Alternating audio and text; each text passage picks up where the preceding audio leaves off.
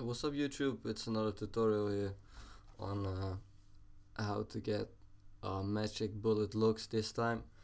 Um, I did two of these tutorials earlier and the first one uh, so I get a lot of questions and stuff people don't um, get to find the serial so uh, in the second one about red uh, about Knoll Light Factory I decided to do it a little bit else and that's how I'm going to do it um, as well with this tutorial on magic bullet looks I'm going to do it a little bit different.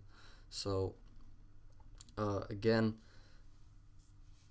you could really support me with this uh, favorite and like the video if you want the serial. I mean I have to ask you this I have to do this because uh, I need the support. Um, if you want some more tutorials and stuff you should definitely subscribe because there's more coming up it could be that I uh, switch from channel so uh, I'll post a video on this one if that's going to happen. But let's get to it. So oh, this one is very um, like the Red uh, light factory from Red Giant because it's basically the same. So what you do you go to Google and take in magic bullet looks. Good. Final Cut Pro. I'll throw that in there as well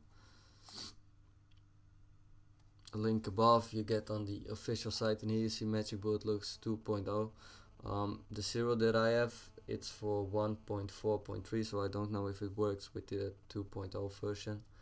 Uh, you could also buy it if you want to do it legally. It's 400 uh, dollars as you can see. But we are going to free trail here. And here the popular trail downloads go to Magic Bullet Looks 1.4 and this is what you also had to do if you watched uh, Knoll Light Factory. You have to uh, fill in your stuff here your name um, email.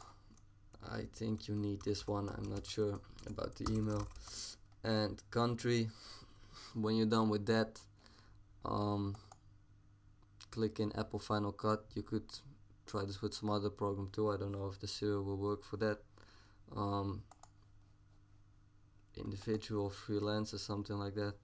And here we're going to it's already uh, filled in. Magic bullet looks for mac os x. You could try it for windows. Don't know if it will work.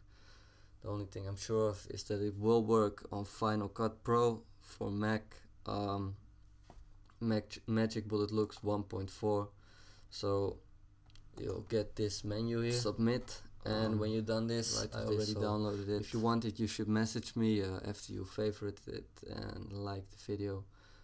And yeah that's all to it. I'll give you the serial key you can put it in and click the um, go through button and you will be able to install the version. So I hope this tutorial worked and yeah leave a comment rate uh, subscribe I don't know check out my channel check out other videos and I'll see you soon